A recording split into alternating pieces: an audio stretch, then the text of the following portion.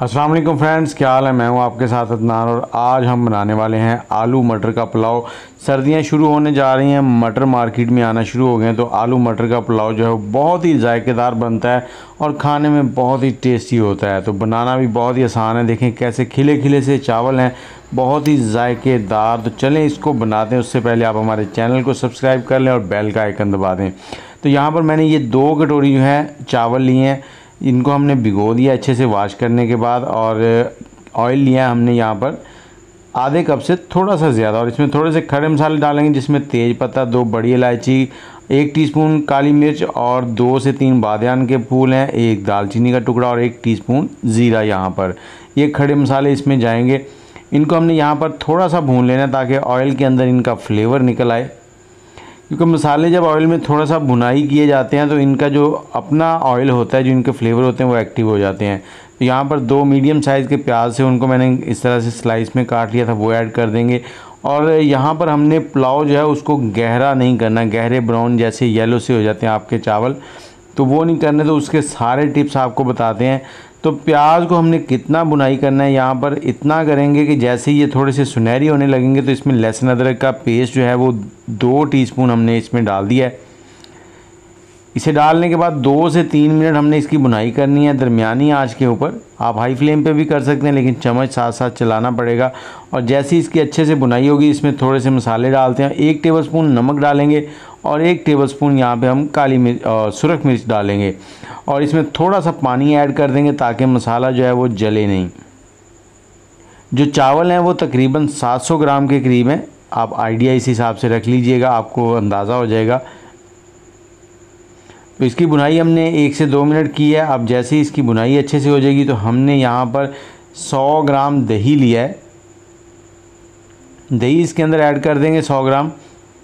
दही ऐड करने के बाद इसको थोड़ी देर बुनाई करेंगे दही की भी और आग का फ्लेम जब दही ऐड करें तो स्लो कर लिया करें, उससे दही फटता नहीं है और जैसे ही वो मिक्स हो जाए तो फिर आग जो है वो तेज़ कर लें। और जैसे ही इसमें थोड़ी सी बुनाई हो जाएगी तो हमने यहाँ पे मटर लिए हैं। मैंने जो साबुत मटर थे, वो डेढ़ पाव लिए थे, उसके बीज निकाल लिए हैं। आधा किलो आलू लिए हैं, उनको मैंने इस तरह से काट लिया है। तो इनकी भी हमने यहाँ पर तीन से चार मिनट पकाई कर लेनी है, बुनाई कर लेनी है। और इस पॉइंट पे हमने चार से पाँच सब्ज़ मिर्चें इसके अंदर ऐड कर देनी है। इसको थोड़ी देर बुनाई कर लेंगे। तब तक आप मुझे ये बताएँ, कौन से शहर में बैठ के आप हमारी वीडियो देख रहे हैं, किस शहर से ताल्लुक़ है आपका? और जैसे ये बुनाई हो जाए तो हमने जो कटोरी से चावल लिए थे, दो कटोरी चावल थे तो यहाँ पे हम तीन कटोरी पानी ऐड करेंगे। ज़्यादा पानी ऐड नहीं करना। बस ये थोड़े से ट्रिक्स हैं जिससे आपके चावल हमेशा ही खिले खिले बनेंगे।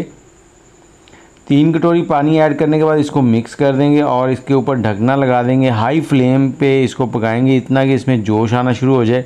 और जैसे ही इसमें जोश आएगा, दो से तीन मिनट इसको पकने देंगे। अब चावलों के अंदर जो पानी था, वो हमने निकाल दिया है और चावल इसके अंदर ऐड कर देंगे। और इसी पॉइंट पे आपने नमक भी चेक कर लेना। अगर नमक कम हो तो आपने और ऐड कर लेना। यहाँ पे मैंने आधा टेबल स्पून तकरीबन नमक और ऐड किया था।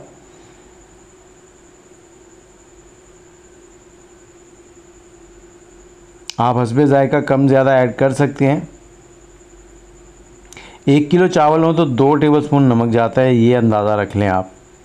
और अब इसको हाई फ्लेम पे पकाएँगे और चम्मच बहुत कम चलाएँगे, दो से तीन बार हमने सिर्फ़ इसमें चम्मच चलाना है कंप्लीट जो है। और जब हमने पानी ऐड कर दिया, उसके बाद आग का फ्लेम बिल्कुल आपने लो नहीं करना, जब पानी बिल्कुल ड्राई सा हो जाएगा, ये कह लें कि 80 से 90 परसेंट तक पानी ड्राई हो जाएगा, उस पॉइंट पे हमने दम लगाना है, लेकिन दम लगाने से पहले इसको थोड़ा सा गार्निश कर लेते हैं। इसके ऊपर थोड़े से टमाटर लगा देंगे। वैसे पुलाव में टमाटर जाते नहीं हैं, लेकिन मैं आपको रिकमेंड करूँगा ज़रूर ऐड करके देखें। बहुत ही ज़बरदस्त टेस्ट आएगा और थोड़ी सी सब्ज़ मिर्चें डालेंगे। थोड़ा सा मेरे पास पुदीना है, पुदीना इसके ऊपर स्प्रिंकल करेंगे और एक कपड़ा ले लिया जिसको मैंने गीला करने के बाद निचोड़ लिया था। वो इसके ढकने के ऊपर कवर करके ऊपर से दम लगा देंगे।